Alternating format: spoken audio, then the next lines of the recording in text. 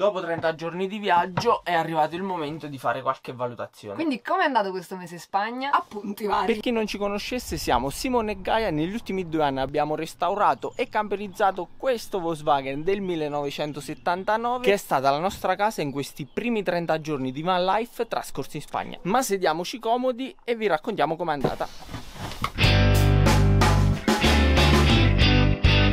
Siamo partiti direzione Gibilterra senza aver mai testato veramente la meccanica del van su lunghe percorrenze. Abbiamo fatto qualche giretto nei pressi di casa nostra, ma niente di che, massimo 20, 30, 40 km per esagerare. Quindi, eh, insomma, niente in confronto a questo viaggio che abbiamo fatto. Ad oggi abbiamo percorso più di 2000 km e non possiamo dire che sia andata male. Ma c'è un grande ma. Sulle coste spagnole, noi non avevamo calcolato questo piccolo dettaglio, c'è molto molto vento, sono molto ventose, ecco. E noi ci siamo resi conto di avere un piccolo, ma più piccolo problema di stabilità, dovuto a diversi fattori che adesso vi diciamo. Sia nella guida che nella notte. Sì. E penso ve ne siete anche accorti perché nei video precedenti si vede in un sacco di occasioni che io mi lamento perché eh, soprattutto di notte si sente troppo rumore o il camper si oscilla, si muove effettivamente. Tanti spot che di giorno erano il paradiso, di notte diventavano un inferno. Tant'è vero che ci siamo dovuti spostare una sera alle due la notte, penso, perché Più io... Una sera. Ne, ma una in particolare io stavo proprio sbroccando perché il rumore così forte del vento e il movimento non mi davano pace, cioè non riuscivo a dormire in quelle condizioni. C'era anche il mare agitato che avevamo proprio a due passi dal, dal, camper. Anche se il mare in realtà non era colpa del camper, però torniamo a noi, ai nostri problemi. Già dal primo giorno che siamo partiti che c'era un bel temporale, mi sono reso subito conto che non riuscivo a tenere bene il volante e il mezzo era come se sbandasse. Ma non ci abbiamo dato troppo peso fino a quando siamo arrivati in Spagna e il vento forte era praticamente la normalità. Soprattutto nelle autopiste spagnole lungomare, dove il vento era lo standard, il mezzo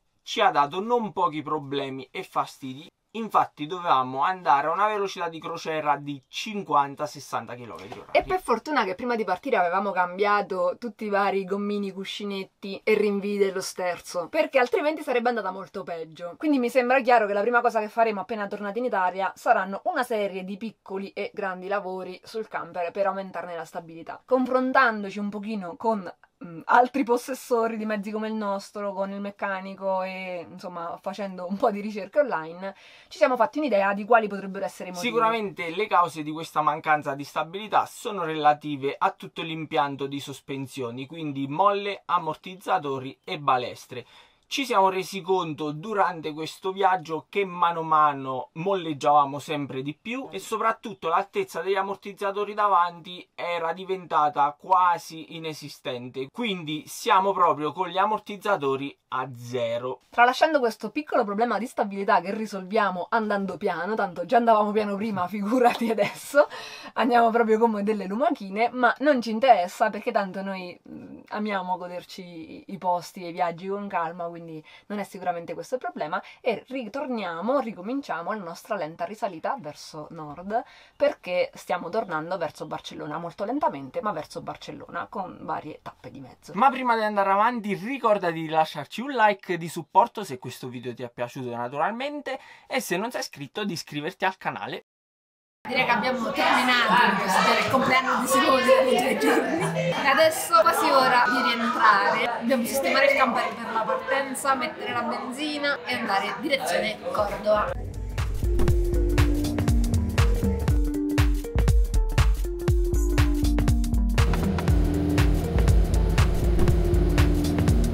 Sole è sceso, finalmente si respira un pochino di più perché oggi è stato davvero caldo e siamo appena arrivati a Cordova. Adesso abbiamo trovato uno spottino vicino alla città su Park Fortnite dove rimarremo sicuramente domani. Lunedì è sempre una giornata in cui stiamo fermi perché siamo impegnati. E poi magari martedì che invece è una giornata un pochino più libera, ne approfittiamo la mattina per visitare la città e poi ci spostiamo perché iniziamo la nostra risalita lenta nord. Travolgimento di programma. Ci rivedete uscire di sera perché domani abbiamo avuto un contrattempo lavorativo, quindi saremo impegnati tutto il giorno e non ci potremo muovere. e stiamo visitando la città vecchia di Cordoba. Vi faccio vedere che spettacolo appena arrivati alle mura. Che ne pensate? Come ingresso non male. Gaia è Che, che hai fatto Gaia? Eh? Stavo per cadere a un gradino del cavolo. Di, di, di, racconta. Dove stavi guardando? Al cellulare stavo a fare una foto.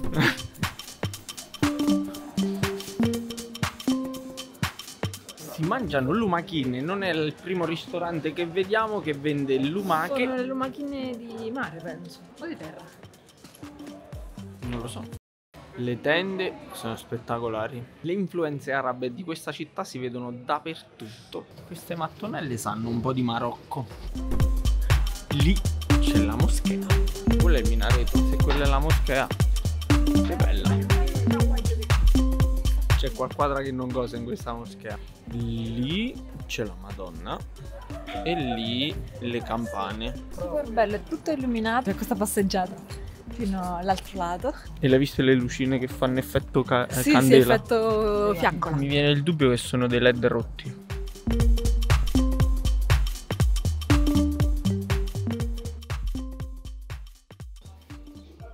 Da notare la differenza, siamo venuti in questa stazione in mezzo al nulla.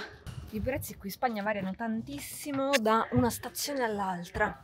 Ieri abbiamo messo benzina per 1,70, 1,80, ma parliamo di benzinai magari anche a 100 metri, cioè 20-30 centesimi di differenza come niente fosse. E quindi adesso abbiamo imparato che quando la troviamo a 35, in questo caso a 44, però ieri l'abbiamo messa a 35, non l'altro ieri, eh, quando la troviamo così bassa è il momento di caricare. Raga, non ce la possiamo fare comunque. eh. Qua sotto abbiamo messo ad asciugare il tetto del nostro bagno perché innanzitutto la vernice, la vernice è super puzzolente e dentro il camper non la possiamo tenere perché altrimenti moriamo asfissiati. Ma la cosa che fa più ridere è che è un mese che siamo in Spagna, un mese che dobbiamo verniciare questo soffitto del bagno e abbiamo scelto per farlo l'unico giorno in cui piove. Ma non è finita qui. Vi faccio vedere che cosa è successo oggi. Siamo andati a fare la lavatrice perché avevamo tutto sporco e l'asciugatrice non mi ha lasciata proprio soddisfatta. Tante cose si sono asciutte, ma tante mm, mm, mm. e quindi per la serie fidati di me, sono un ingegnere. Ecco a voi la capanna di panni. Mi fa ridere solo a guardarla, guardate quanti ce ne stanno. A tutti i fili che fanno destra e sinistra, un'infinità.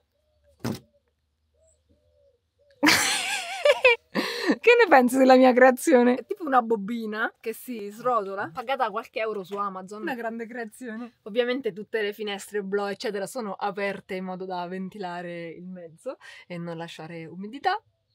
Vi farò sapere se la mia creazione funziona. Buongiorno! Aggiornamenti dal Far West oggi. Abbiamo già fatto un sacco di cose di prima mattina, ma ancora non ci siamo presi il caffè. Ci siamo svegliati abbastanza presto perché volevamo partire e non sprecare tutta la giornata. Quindi, prima di partire abbiamo dovuto risistemare tutto il camper, fare il carico dell'acqua, svuotare le acque grigie, pulire il bagno, eccetera.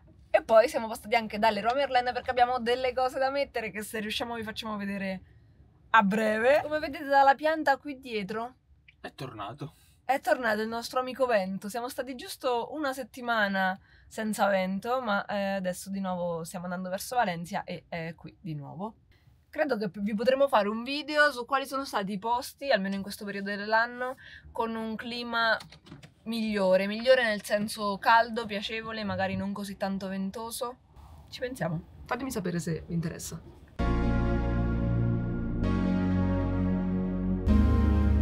Io vorrei cercare di mostrare quanto sbandiamo. Adesso io inquadro il volante. Abbiamo capito che questo è un problema. Stiamo derapando.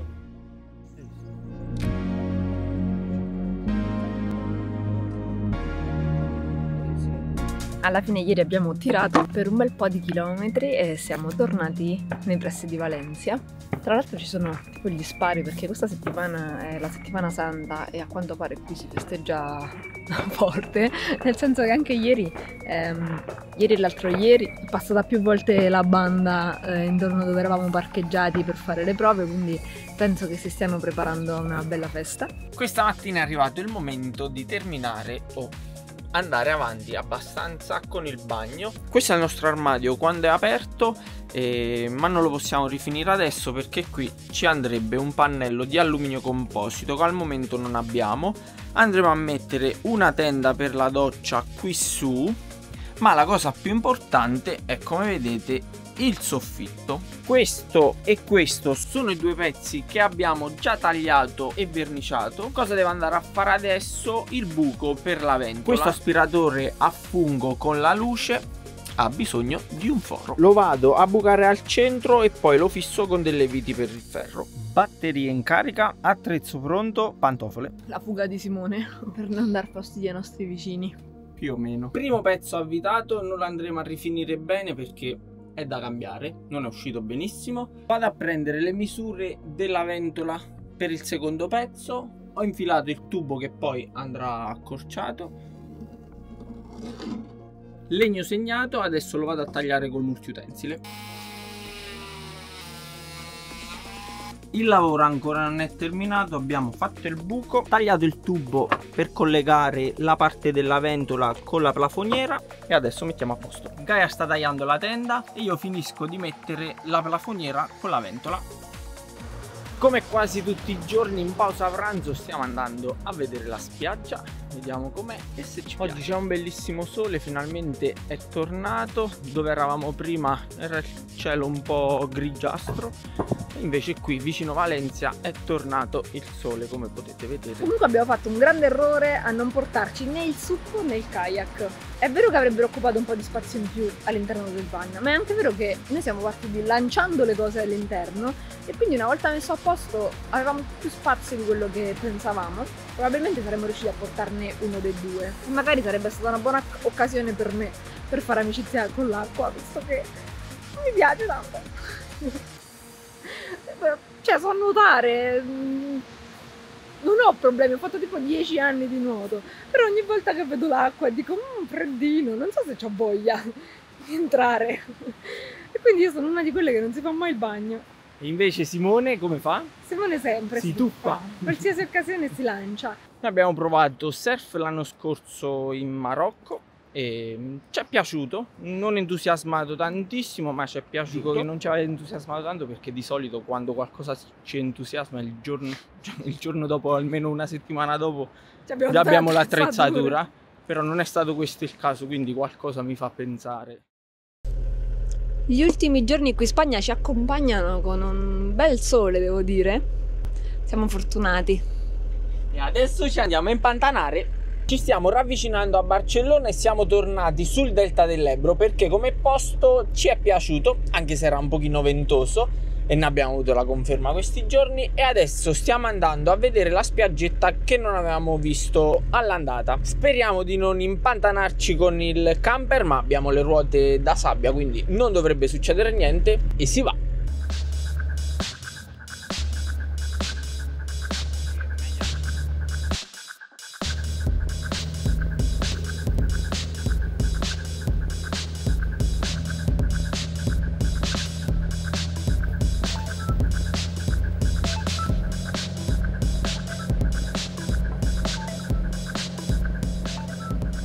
Primo pezzo in assoluto con sabbia, acqua e fango. Devo dire 100% positivo, eh, Gaia non parla. Io non ero convinta Gaia non era convinta, io convintissimo. Adesso siamo qui, vi faccio vedere il posto.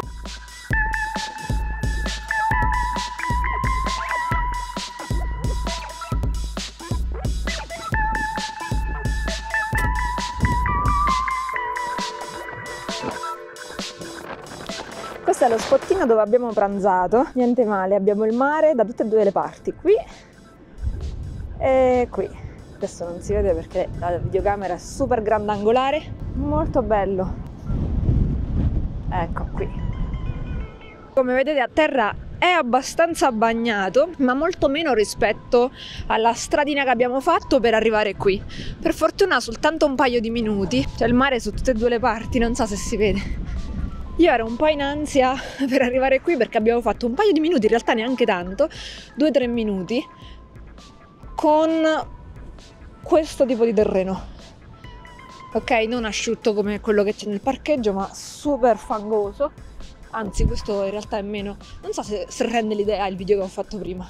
Non sono molto amica dell'acqua, sono stressata dall'acqua perché si vede che siamo di montagna, ma io ho l'ansia di qualsiasi cosa, tipo che se parcheggio troppo vicino la notte si alza la marea e mi porta via con tutto il furgone. Oppure di rimanere impantanata, non è il mio elemento. Eccolo qui. Faccio vedere le gomme in che condizioni sono. In realtà pensavo peggio, anche se questa è sabbia con acqua di mare quindi dobbiamo andarlo a lavare un pochettino. Si è sporcata più la ruota di scorta che il resto.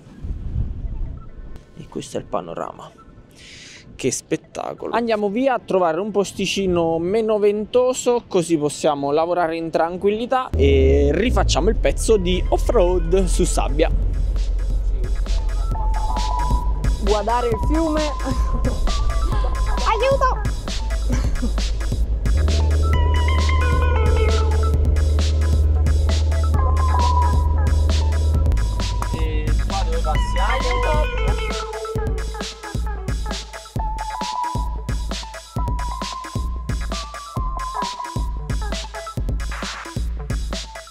Molto molto divertente. Ora dobbiamo andarla a lavare perché è acqua di mare, quindi corrode un pochino. Il nostro telaio potrebbe non apprezzare. Più che il telaio la carrozzeria.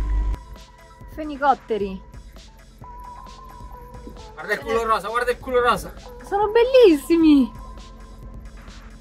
Ce ne sono un sacco. Eccolo, guarda com'è rosa lui. Guardate quanti.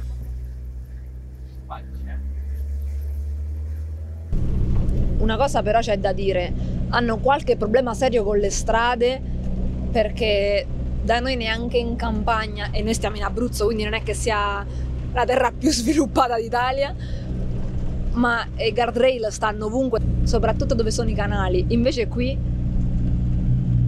non so se riesco a farli vedere, cioè praticamente se metti la gomma sulla striscia bianca cadi nel fosso. E qui neanche tanto, cioè qualche centimetro c'è, ma ci sono dei punti dove proprio è crollata anche il bordo strada. Cioè questo per esempio, cioè non c'è neanche la striscia, è subito il fiume.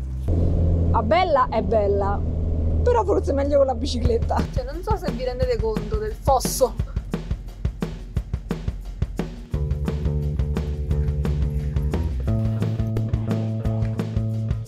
Laviamo tutto super meticolosamente.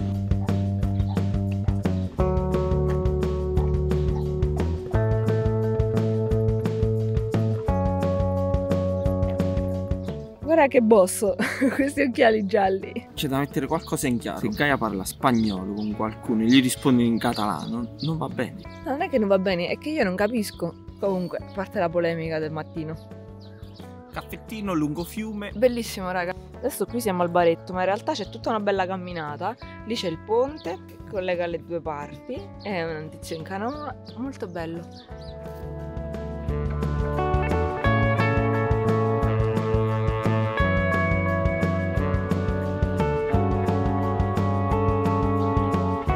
Qui appena arrivati in una Barcellona un pochino deserta.